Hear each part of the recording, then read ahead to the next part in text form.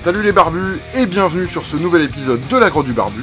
Aujourd'hui c'est l'épisode 157, Range outils. Et oui, je vis dans un tout petit appartement avec un tout petit espace.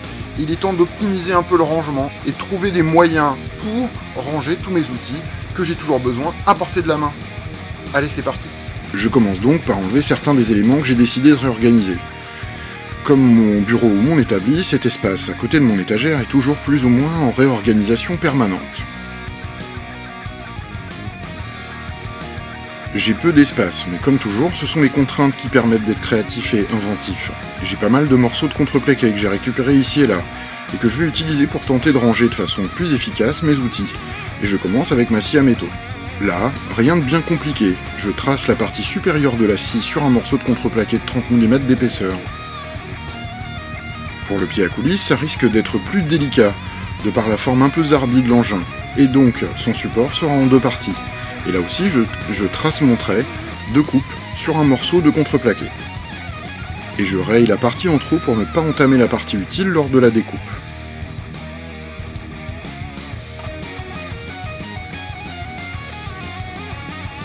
Il ne me reste plus qu'à découper tout ça avec ma super scie à ruban que les amis de l'aimant m'ont envoyé, en essayant de suivre au plus près le trait de crayon.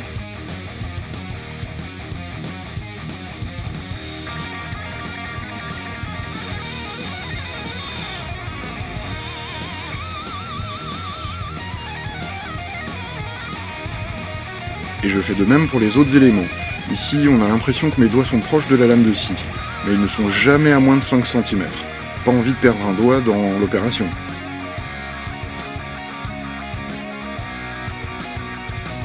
La découpe du support pour le pied à coulisses est un peu plus compliquée, mais avec un peu de persévérance, on y arrive très bien.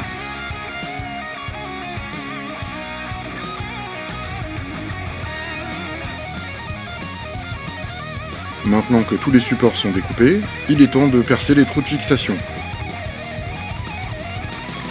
Et de faire des chanfreins pour les vis qui vont fixer les supports sur le côté de mon étagère. Le support du pied à coulisses est fixé à un bout de contreplaqué, pour ne former qu'une seule et même pièce qui sera ensuite accrochée au mur. Et le processus est toujours le même, j'assemble avec des vis en préperçant les trous et en effectuant un chanfrein. Pour tenir la petite équerre, j'utilise deux chutes de contreplaqué pour espacer deux morceaux de bois et créer une fente dans laquelle l'équerre va pouvoir venir se glisser. Il est temps maintenant de positionner et mettre en place tout ça. Et comme vous le voyez, je n'hésite pas à changer de place, réarranger le tout pour trouver le meilleur emplacement. Le but ici est toujours d'optimiser la place et pouvoir mettre dans un espace défini le plus d'outils possible.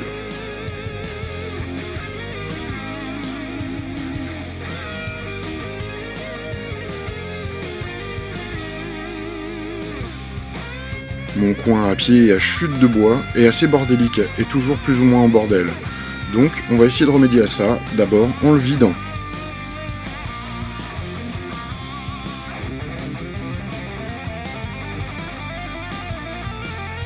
J'utilise mon speed square pour tracer trois lignes plus ou moins égales pour les découper à la scie à ruban. Et j'utilise ma super scie à ruban pour les découper. Ici on n'est pas dans la précision, donc on peut jouer un peu au bourrin et découper ça à la va-vite.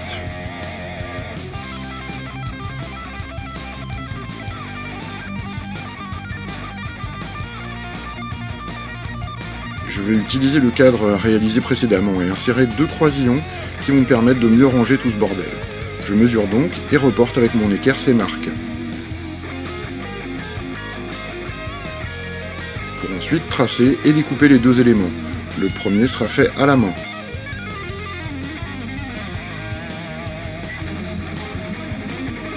Je marque le deuxième qui lui sera découpé à la scie ruban parce que c'est plus rapide qu'à la main.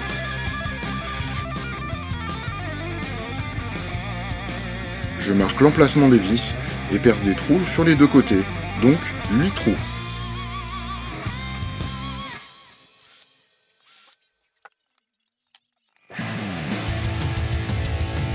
Je place mes éléments et les vis des deux côtés.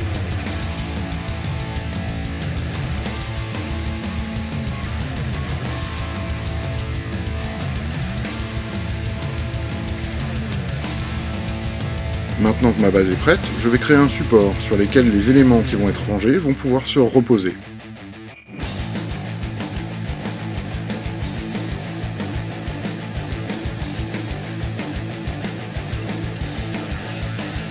Je prépare donc mes deux longueurs de contreplaqué et les vis sur la base.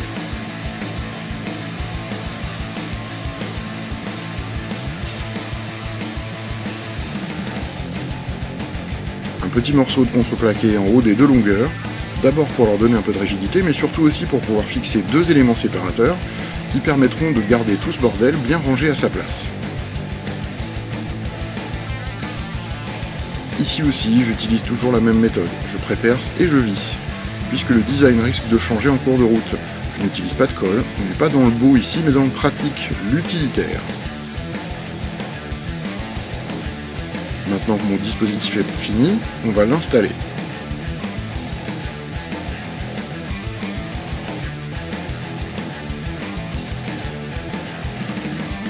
Et on va pouvoir ranger tous les éléments du bordel précédent, chacun à leur place et avec cette fois-ci un support. C'est pas idéal mais c'est beaucoup mieux.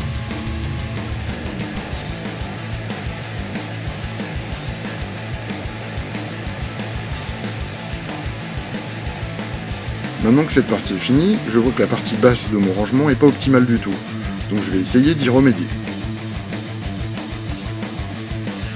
J'enlève donc mes trois chargeurs de batterie et je vire aussi ma multiprise, qui n'est pas non plus au bon endroit.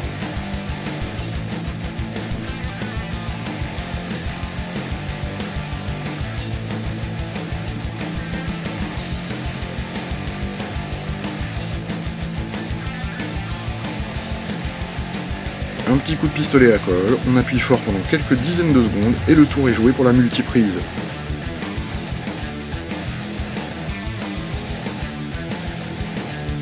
Pour les deux chargeurs de ma visseuse et de ma perceuse, je vais utiliser la même méthode que précédemment. Je trace le contour sur un morceau de coton plaqué. Et oui, mon pied de caméra a tendance à descendre tout seul. Super classieux comme plan, non? Retour à la scie ruban pour découper les différents éléments. Pas encore un ultra spécialiste de cet instrument, mais je commence de plus en plus à comprendre son fonctionnement, et deviens moins nul à chaque utilisation. Vraiment un outil génial et super pratique.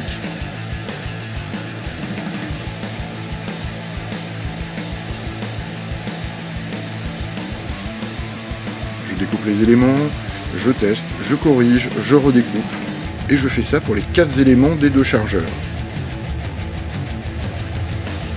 Rien de nouveau dans la méthode puisque ces différents éléments seront fixés par des vis. Donc là aussi je prépare et chanfreine toutes les pièces.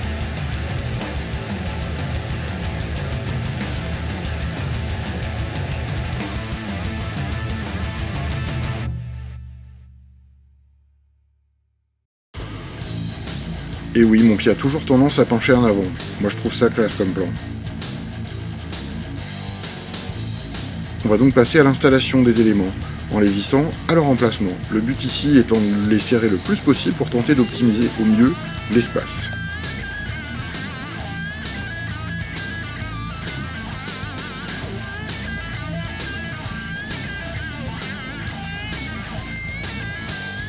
Des tournevis j'en ai plein, et aujourd'hui ils traînent plus ou moins dans une boîte en plastique, donc on va essayer de trouver une autre méthode de rangement morceau de chute de contreplaqué de 30 mm d'épaisseur et quelques trous devraient permettre de faire un présentoir à tournevis plutôt décent. Je calcule et marque leur emplacement et mesure le tournevis le plus gros et cherche la mèche la plus appropriée. Ne me reste plus qu'à percer et tester tout ça au fur et à mesure. Pour fixer tout ça, je vais utiliser deux vis et le Undercover Jig de chez Wolfcraft, qui devrait être amplement suffisant et je vais réutiliser la même méthode avec mes petits tournevis de précision plat, cruciforme et torx. J'en ai une quinzaine que je vais essayer de tous placer sur ce morceau de CP. La méthode reste ici aussi la même, j'espace, je marque, je perce, je teste.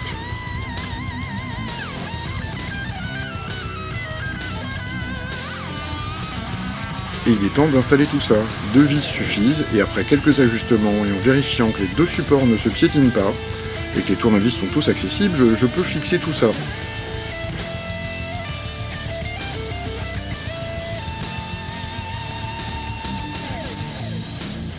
Il me reste même un peu de place pour réorganiser un peu et trouver des emplacements plus optimaux pour certains outils. Chaque centimètre compte.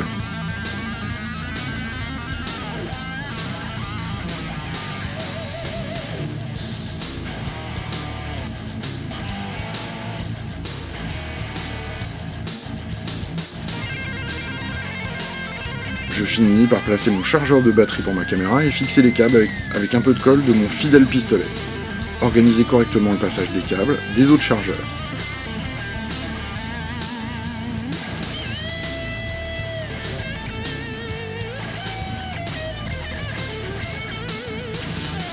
Et tenter de ranger ça le plus efficacement possible.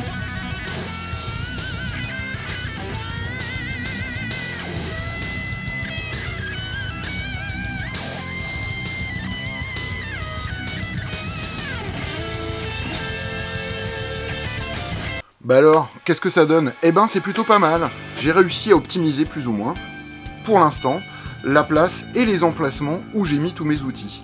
Bien sûr, c'est toujours en mouvement, mais c'est vachement intéressant justement de pouvoir optimiser les petits espaces. Et en général, c'est quand on a des contraintes que justement on innove et on trouve des moyens un peu innovants pour stocker ou ranger tous les outils. Ils sont à côté de mon espèce de, de mon espèce de placard où je stocke toutes les pièces et tous les éléments que j'ai besoin pour la grotte, à côté de mon bureau, et je les ai à portée de la main par exemple.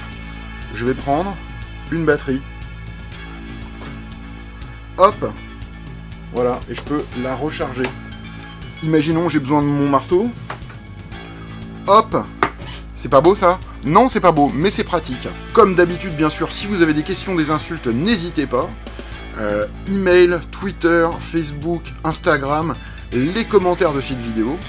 Et si t'es pas abonné, moi et mon pote le marteau, on va venir te rendre une petite visite.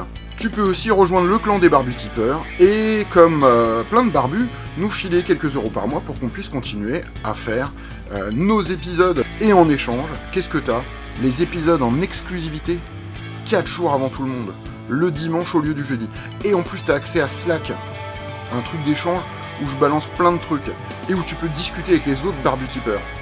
C'est pas trop classe ça Voilà, un épisode simple. Alors même si j'utilise ma scie à ruban, euh, vous pouvez utiliser une scie standard ou des outils complètement communs. Euh, c'est pas un problème, c'est juste que la scie à ruban c'est plus pratique et plus rapide et surtout plus précis. En tout cas, ce rangement des outils, moi ça me plaît bien. Évidemment ça va continuer à bouger, je vais continuer à l'améliorer, mais arriver à utiliser justement des petits espaces pour stocker plein de trucs, moi je trouve ça cool. Voilà, c'est tout pour cet épisode. Inspirez-vous, faites des trucs et que la barbitude soit avec vous.